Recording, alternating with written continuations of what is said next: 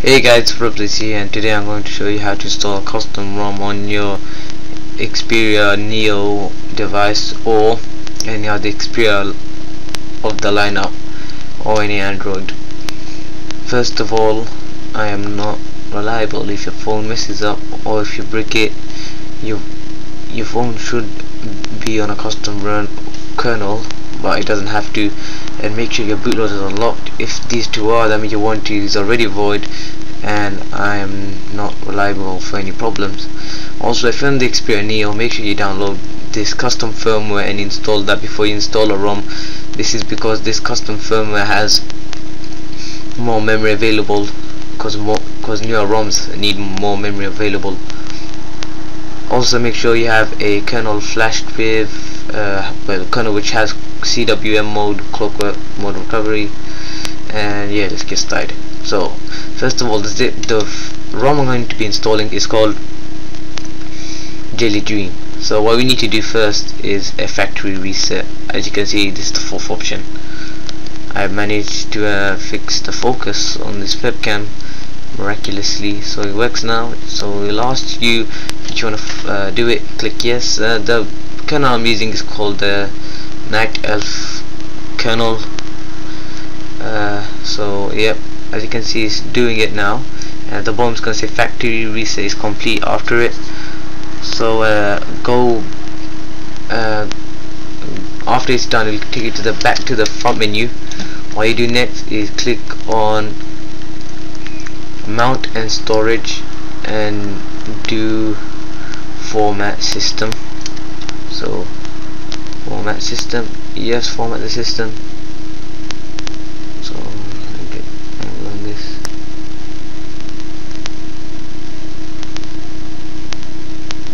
Done. So go back. After said after format system is complete and you have done a factory reset click on advanced and wipe Dalvik cache uh, hit yes. And again try and get an angle on this uh, yeah, white Dalvik white Dalvik white cached yeah, he has finished doing that. After he's done that go back once and click install zip from SD card and choose zip from SD card which is the first option just go to where you locate it in your memory card. Make sure the zip is in your memory card. And just click it. This will install with Aroma installer by the way. So uh, yep. So it's gonna ask you to install it. Choose yes. And then uh, it will go and install it. Uh, if, you, are wondering how you use clockwork, clockwork, clockwork mode recovery you just use down and up uh, select key your home key to select. And as you can see it's a jelly dream mod. So I could choose the theme layout for this uh, for the installation. I'm just going to choose the default one. I'm going to hit next. This is the agreements for the Jelly Dream which the user has given. You could just agree at the bottom. I agree. Next. And then click on install Jelly Dream ROM. As you, it's gonna say the version name oops uh, version name. Click next. Change log. Uh, new things have been added to this version the 2.5 version the one I'm using at the moment well installing at the moment. Choose a device. Select your device. As you can see list of devices. I'm on the Neo. Uh, if you install this firmware make sure you choose the Neo. Then you could choose your options such as uh, your keyboard all that kind of stuff. So uh, I'm just going to choose this now. Just give it a minute guys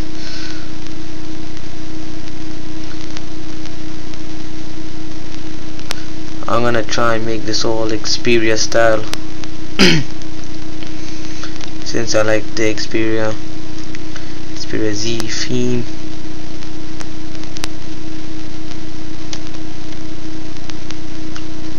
Uh, leave the clock as it is. Buttons. Uh, well leave it how it is as well.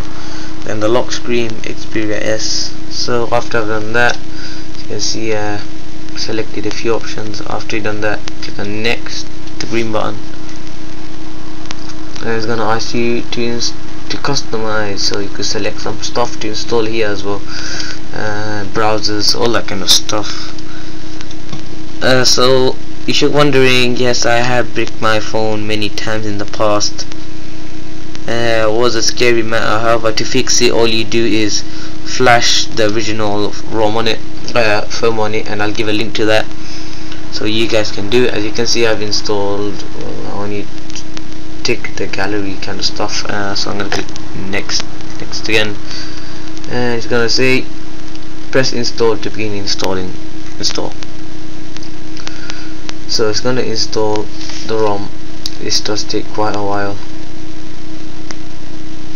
You can see it's installing uh, this does take quite a while. And as I said if your phone does get bricks like when it says Sony and it goes to a black screen or your phone turns on turns off just flash the original firmware. I'll post a link to all the original firmwares. There will be ADFLY links. So um, I'm sorry if it's like you just click on it 5 seconds skip by that's it. So yeah isn't that hard to do. This doesn't take too long to install. What you do is uh, you connect your phone uh, open flash tool which you install to your C drive I'll give some instructions for it. And you just click on flash mode uh, it asks you to put your phone in flash mode it shows you how to do it. Then you just select the firmware and you install it that's it your phone should be back up to normal. If that does not work if your phone is bricked that is if it is bricked if the ROM works then that's fine you don't have to do it. But if it is bricked then go to XDA developers and they'll help you so when you see 95% it's gonna install some custom stuff that you have selected. Uh, also no uh, it takes quite a while to start at first. Not too long but uh, probably five minutes around that time. So mm, it's just installing the stuff now gonna choose a device all that kind of stuff. See the gallery the customization I've chosen all that stuff which I have chosen to do you know jelly bean stuff and uh, Xperia Z theme.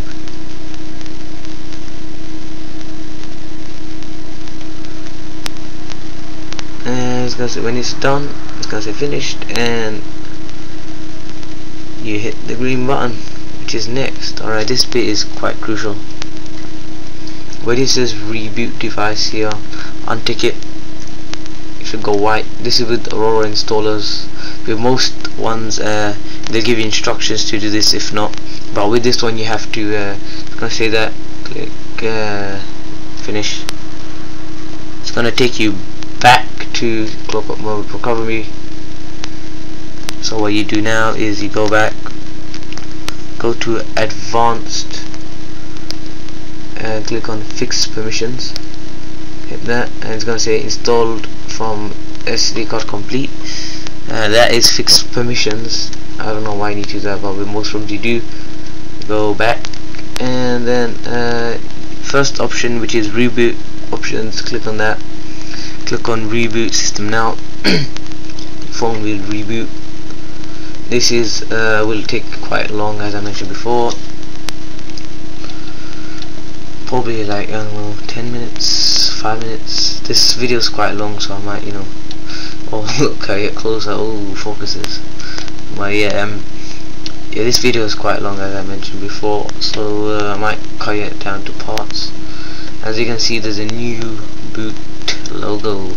Usually it says uh, what was it? Uh, Xperia now it's the jelly bean kind of thing.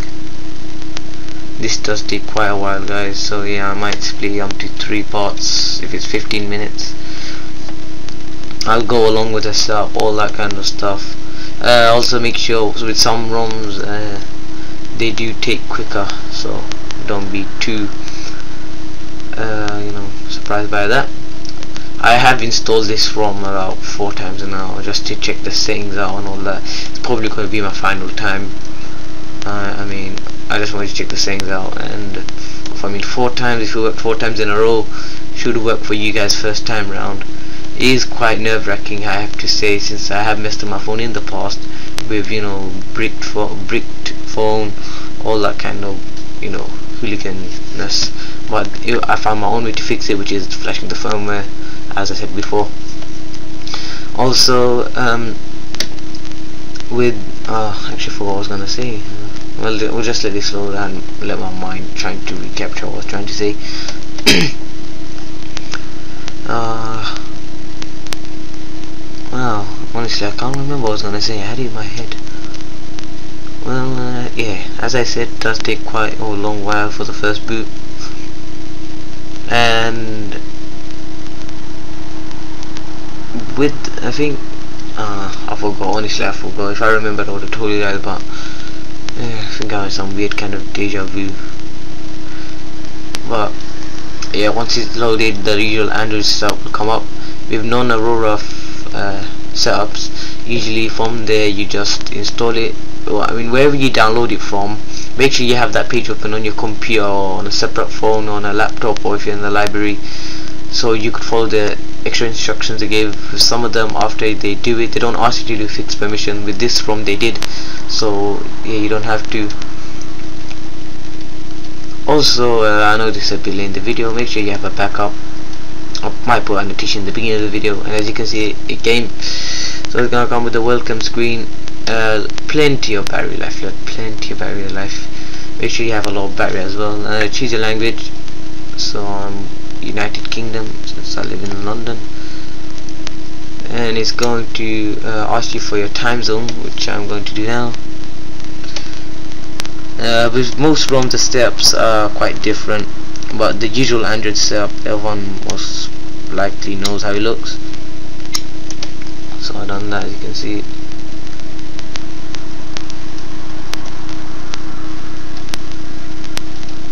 so click next it's gonna ask you to sign into uh, Google Chrome. I'll just uh, do it now. Uh, I'll do it later. So I'll just show you guys the theme. All the thing uh, it's gonna say who does this phone belong to. Course, you'll write your name. Uh, the keyboard does work. Uh, if you're installing the ROM I'm using, the Jelly Dream ROM, uh, make sure you only choose one keyboard or keyboard doesn't work. That happened to me first time I chose two keyboards didn't work. Let's see some stuff like Google service. Uh, yeah, I really don't care about this. And then setup is complete. Hooray, hooray. Click on the finish button.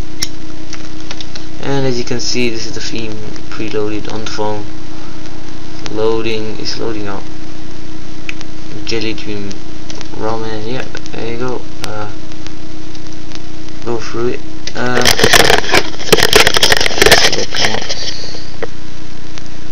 as you can see, quite a simple ROM. A bit of animation when you when I switch this way.